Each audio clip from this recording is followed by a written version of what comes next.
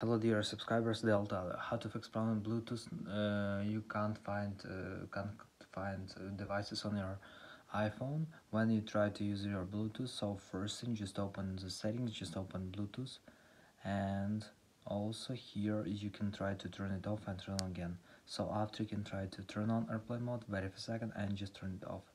So after you can try to restore your phone, so you go to the general, just scroll down, just tap on shutdown, slide the power off, wait a second, and just power phone again. So just simply restore phone. And the latest option you can try, you can try to update your phone. So just go to the general, just open software update, and if you see here web update, just tap on download and install, and wait until it was successful installs latest updates for your iPhone. So thanks for watching, have a nice day, goodbye.